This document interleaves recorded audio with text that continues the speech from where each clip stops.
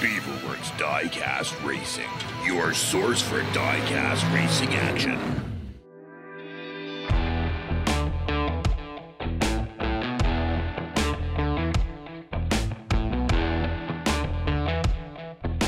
Welcome back, Diecast Racing fans and Beaver lovers out there. And also throwing maple syrup, back bacon, and poutine. It's Beaverworx Diecast Racing and their friends over at the Igloo Proving Grounds bringing you the final round of the Beaverworx Stoned Road Open Group 4 Round 2. And this is the six car group where we had all sorts of action in the first round.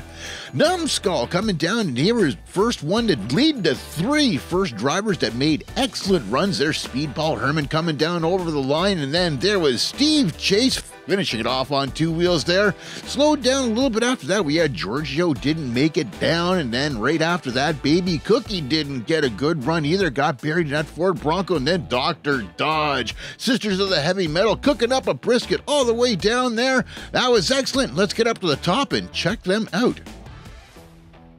How's it going, folks? Lance here, and I'm with Numbskull's Dodge D200. It's sporting the factory lift, and he has got extra weight added just right to put some good runs down so far. I'm Lester with Speedball Hearman from Gravity Throttle Racing's Jeep. He's riding the extra weight on the outside and he's got the longest distance in the second round. Looked awesome, too. And there's Steve Chase from Chase Family Racing's Power Wagon. And after its best time in the first run, he has got this truck dialed in just right. Got the family emblem on the roof and the flames. Looks awesome. Back down to you, voice. All right, enough with the opening fluff. It's the Stoned Road Open Group 4. Right, right, one. All right, Numbskull and that great big Dodge D200 going to make his second run, and that thing's a monster. Did good on the first round. Let's see how he does this time. There he's off. It's up on top of the rocks. He's loving it. He's down through the logs. Takes one with him. Wiped out the linemen at the bottom. The guys at the flag can't tell if they jumped out of the way, if they got wiped out. That was still over top of the line, full run, and he is wiped out right there. And there's our guys. They look like they're pretty much okay. We got the Mountain Munchkin team down there watching the track, and they are tough hombres. Look at that. Looks like they might have just jumped out of the way of that log just in time, or that log might have got them a bit. Not sure. Numbskull made it over on his side with a bonus distance of 9.5 centimeters. As long as you make it over the line, it still counts. Checking out the Igloo replay in slow motion. Let's see what happened there. You can see him. He's just going. He's loving it. He's up on top of that. It gets squirrely through the deep stuff, holds onto it, gets into the logs. He's almost over the edge and off the track, pulls back on, hurdles himself over top of the line, and doesn't help the bonus distance much, but still walks out with a 5.89 time and 9.5 centimeters. Right, right, two. Second run for Speedball Hearman from Gravity Throttle Racing in that Jeep Wrangler, and he's doing way better than the Jeep did on the first round. Anyways, here he goes. He's down. He's on top of it, loving it. Getting a little slower in the deep stuff there. Coming up to the logs, breezes through those no problem, and holds the landing out the end. 6.94 time. Look at that excellent looking run right there. Just sitting pretty out there in the sand trap at the end checking out the top down, bottom up cam. There he is. Looks beautiful. Holds on to that run because there's some skill inside of that driver right there. 20.5 centimeters is what he's getting for a bonus distance. I think that's a little slower and a little less than his first round time. We're going to hold on to that one, but still holds on to it nice. Gets on top of that. He's sliding back and forth. You got to negotiate those rocks. Gets through the deep stuff, coming into the transfer onto the logs. Picks a beautiful line doesn't kick anything at the announcer's booth. Thank you very much for that. And out the very end, there he is. Speedball Hearman walks away with a 6.94 time, 20.5 centimeters. Run, run, three. Here we go. Steve Chase is going down for his second run inside of that big Dodge Power Wagon. It's got the extra weight inside there. It's got flames on the side of it. Corbin that makes it go faster. And here he goes. He's flying. He's got on top. Looks like he got slowed down a little bit.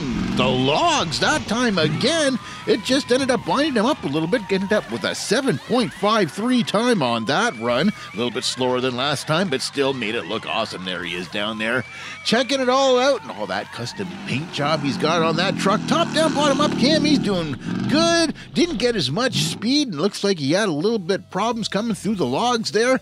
Checking it out for a 14.5 centimeter bonus distance, a little bit shorter than the first run. Going to go with the first run time because we go with the best time of the round. Here he goes, Steve Chase, Chase Family Racing on top of it. Look at that tail end kick up. He is still holding on to it. Comes through the deep stuff, no problem. Gets all messed up in the logs, but was still able to negotiate his way through that.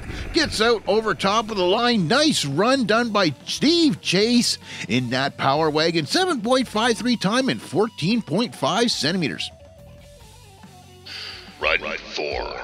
Georgio is going to be taking that Land Rover down for its second run from G-Force Racing, the relatively stock majorette. Let's see how he does on this one here, and it's gonna be over. He's over. Well, that didn't take very long at all. You're short off the line, and all of a sudden it just got high-sided and went over. Looked like you got all that luggage and stuff up on top there. I mean, it's uh, going to be kind of top heavy there, I guess. And there it is. Went over, back door flew open, and uh, that's it for Georgio there on that one. We got the crews right on scene as usual because they love what they do. Check that stuff out. And looks like they're going to take a measurement for 65 centimeters. Is all Georgio can muster on that one.